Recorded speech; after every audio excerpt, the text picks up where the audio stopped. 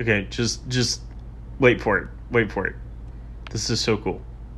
Look, it's it's jumping iron. Oh my gosh, so much iron.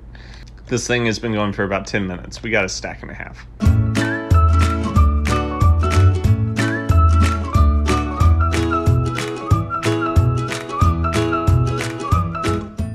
Hey guys, Profe Pablo here, Spanish teacher turned Minecraft engineer. Today we are going to build an underground iron farm.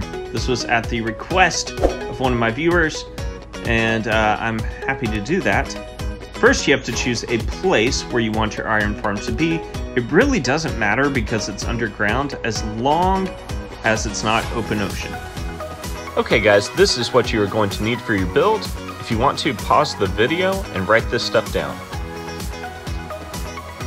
Now, I want you to note that a lot of the stuff you will get while mining.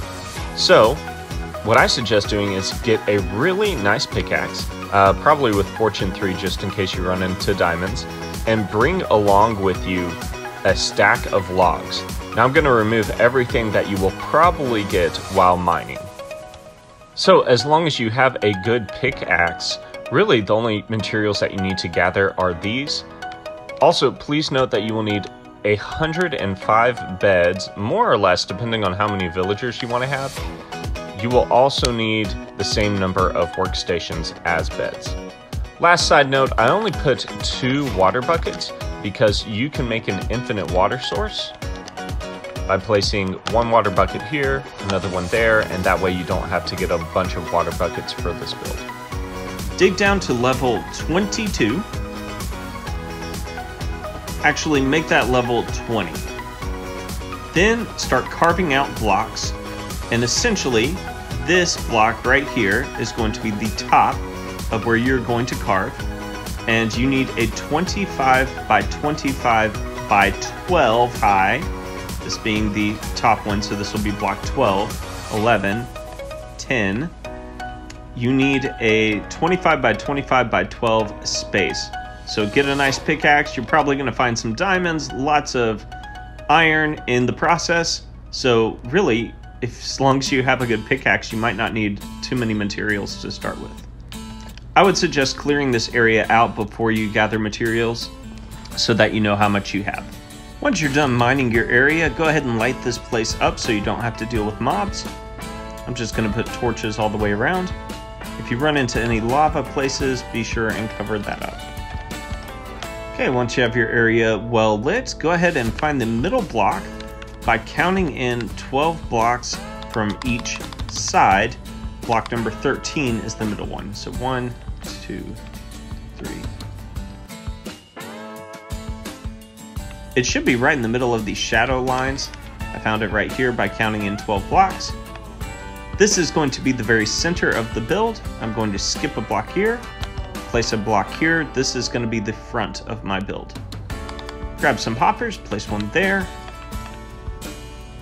one there, one there. This middle hopper is the middle of the build. Place another one there, there, there. And lastly, there, there, and there. Gonna go ahead and add a couple of torches over here.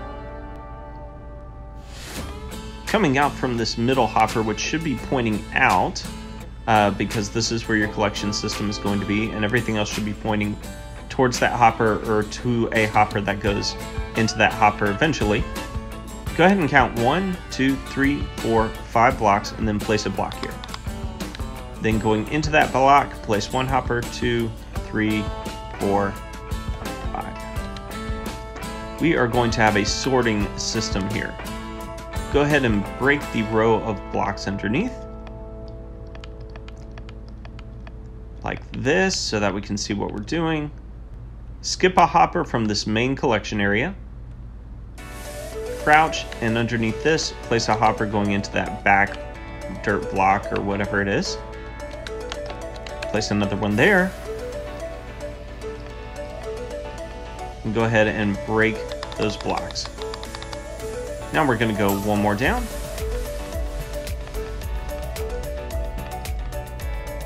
And next to these hoppers, we're going to place a double chest here, and a double chest here. And then behind these double chests, we are going to place a hopper going into those. So one hopper's pointing this way, and this hopper's pointing towards the back. Okay, here we're going to need just a little bit of redstone. Go ahead and start carving blocks away until you're three blocks this way, actually four. Grab your comparators, place one there, and one there. You do not need to flip the switch. Grab redstone dust, which hopefully you got mining. Place one here, here, and actually on this last one, go ahead and carve out one more down. Place it there. I'm gonna carve out this middle row like this.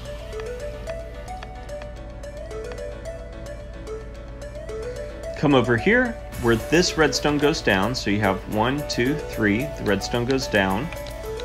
Over on this block, break that, and then break this block right here. Place a repeater going into that block, and a torch going from that block. It's basically kind of like a T. I'm gonna break these blocks and do the same thing on the other side. So redstone comes down, come to this block, break it, repeater pointing into this block, over here, redstone torch, there we go. Now we have an organizational system. Now in this middle hopper on the vertical row here, we need 44 items that will never pass through this organizational system. Cobblestone slabs are usually my go-to. Place one in each of these four slots, then fill this last slot until it is 41.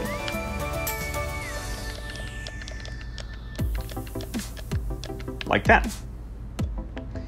Uh, if you happen to have a poppy laying around, put a poppy in the first section. It would actually really help if you had two poppies. Basically what we're doing here is filtering out the poppies from the iron golems who are going to die. They're all going to go in this chest right here. Come over to this hopper, do the same thing. 41 slabs go in this first spot right here. In this one, you're actually going to put string from the cats. Put two pieces of string, one goes through the system and one stays in that hopper. Now we're going to break this block. We're going to place a dropper facing up and another dropper facing up. Then we're going to take whatever rocks or stones you want. Again, you probably got a ton from carving this massive area out. Break any torches that are blocking it and make a column or make a row that goes over here to the wall. Then make a trough using other blocks like this. Take a bucket of water, place it here on the back, and it's going to flow towards the wall. Now go all the way until the water stops flowing. Right here. Break that. Place a hopper going into this back wall. That. Break a couple more. And here you are going to place another dropper pointing up. From here we are going to need a little bit of redstone work, so we're going to break some blocks. Need some light. You're basically going to break some blocks in an L shape. If that's too confusing, make sure, including this hopper, it's a 1, 2, 3, 4 by 3 hole. Place a comparator, a repeater, redstone, redstone, redstone, redstone, another repeater going in there, redstone, redstone, We'll cover that up in just a minute, but while we have our redstone stuff out, let's go back over here. Do the same wiring over here. Comparator pointing out, repeater pointing out, redstone, redstone, redstone, redstone going in, repeater going in, redstone, redstone. Now from here, we are going to cover up this redstone so it doesn't get wet. You crouch, you can place blocks directly over those. Now this is going to get a little dangerous, so just be ready. Take some dirt, place it above this dropper, and you are going to need to carve your way all the way up to the surface.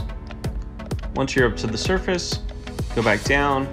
If there's any openings that lead into caves or anything like that, like we have quite a few here, you need to cover those up with dirt or with stone so that your column goes uninterrupted all the way to the top.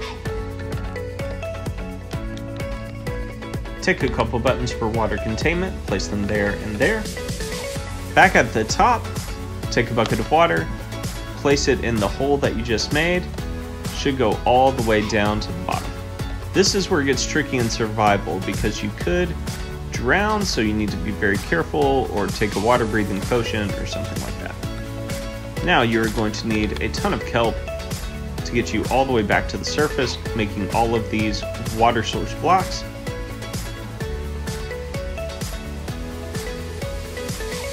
Plant all the way up to the surface and go back down to the bottom. Break the dirt block, which will also break the kelp. Take some soul sand and place it right on top of the dropper, making a water elevator. Now, let's test this out. When we put something in here, it should pop up. Ah, we need to block up this right here. Let's see, what we're going to do is break this, place another hopper right there.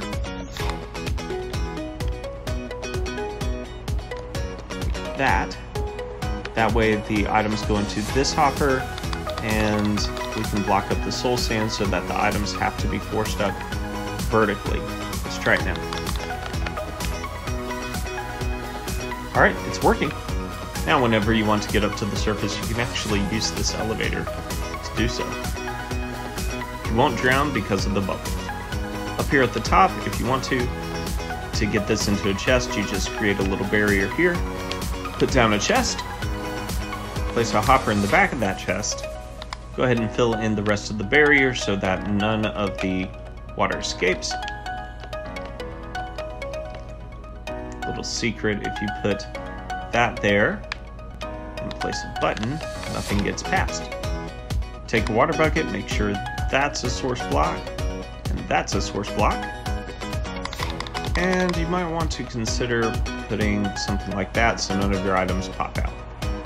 If you don't already have a way to the bottom, you might want to go ahead and dig that out. Now what you can do at the bottom of the shaft that you just dug is place some water. That's a quick way down. So to get up, you can go through your elevator. You can build some stairs if you want.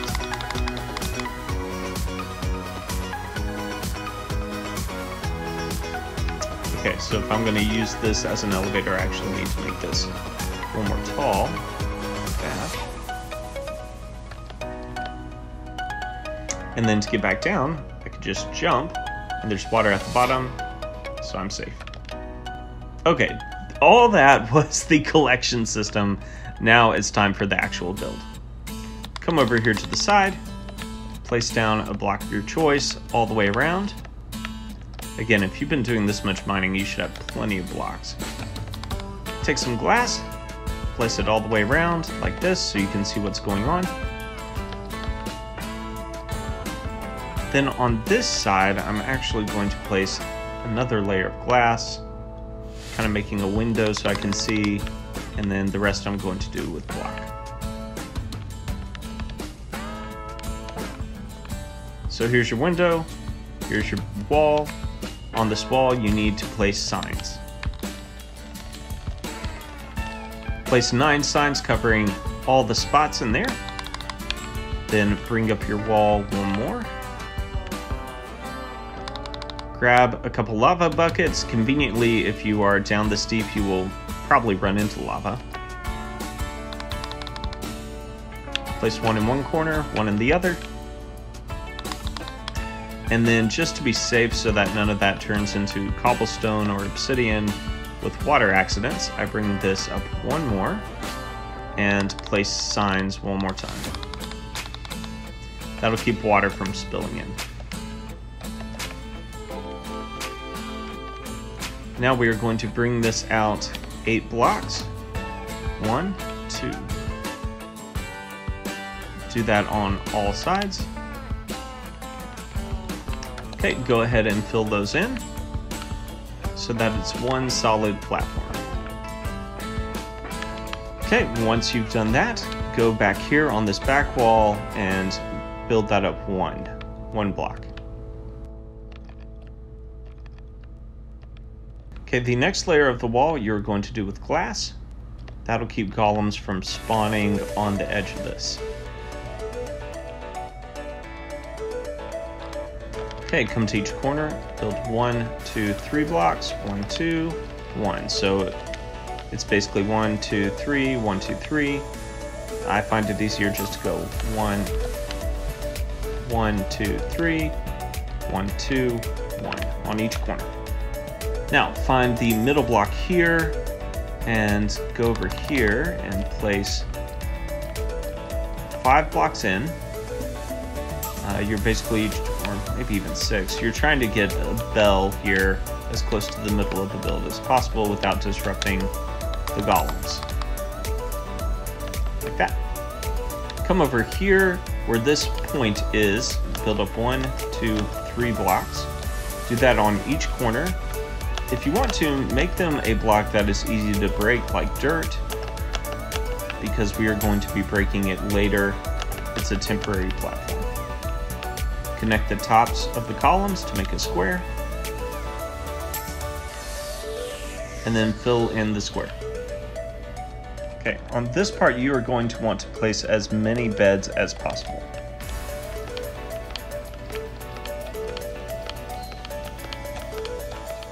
I was able to fit 105 beds.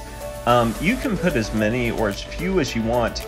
Just know that uh, the more you have, the more villagers you can have, which means the faster iron golem spawn, um, up to three at a time even. Uh, start breaking all the blocks underneath the beds. Careful not to break the beds themselves because they're kind of a pain to replace. I'm not liking the Enderman following me around with blocks, but. Maybe he wants to help. Okay, so you should have something that looks like this. Now it's time for a place where our villagers can be. Come down here, place two blocks. No, you can even go three blocks if you want. The point is they all have to be glass. And the reason they need to be glass is so that no golems spawn here. If you have any gaps, go ahead and close those up.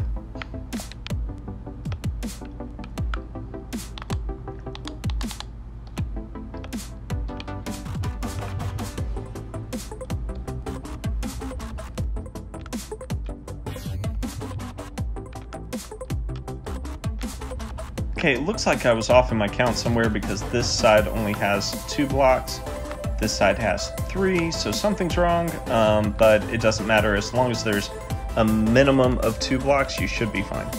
Now, I was going to build the workstations here on the outside, but I changed my mind. I want them here on the inside. So this row, you're going to exchange for workstations. That was only about 80 workstations, and remember we have 115 beds, so you can put some in the wall here. Okay, once you've done that, it's time to bring in some villagers. Uh, if you have a villager breeder, that would be great. If you don't, and you don't mind using spawn eggs, you can use spawn eggs. I'm going to do that just for this tutorial. Um, or you can just bring in a couple villagers and try and get them to uh, reproduce. If you get village idiots, they do not help, so you probably should get rid of them. You only need 10 villagers connected to a bed and working at a workstation for this to work. Then you can go ahead and place your water buckets there. Careful not to fall in your lava. There. Look, we already have a golem. There. And there. And then fill in each one of these with water. That should bring it right up to the edge of our hole. Do that on all sides.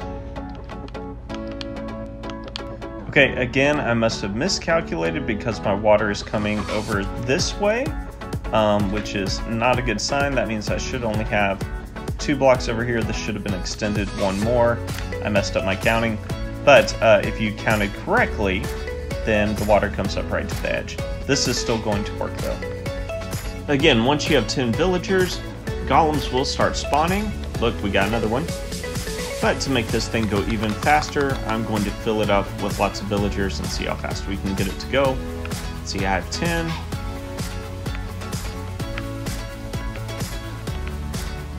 Okay, we got villagers all over the place now.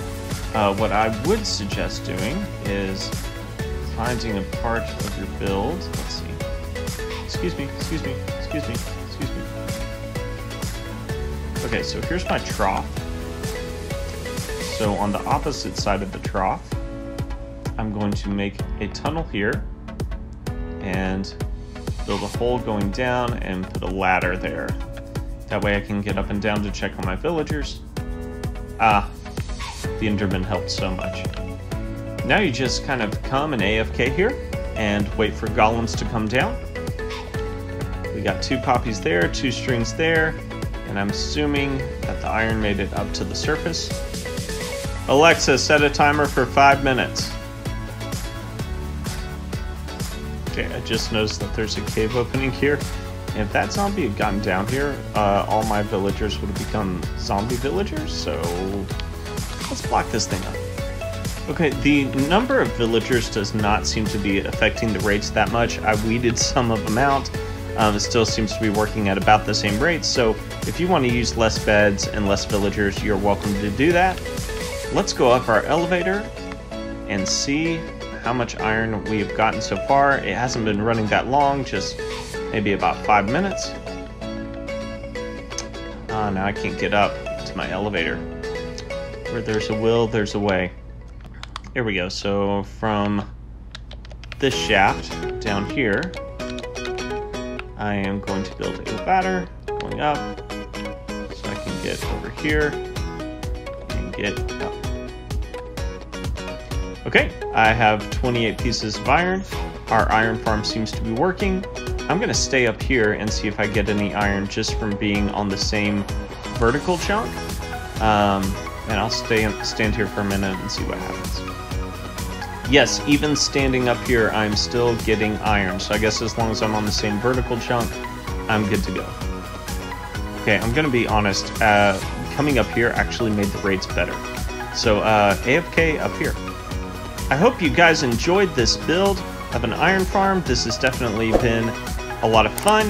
Uh, very complicated. It'll take you a while to build, but it's totally worth it, especially later in the game when you need tons and tons of iron.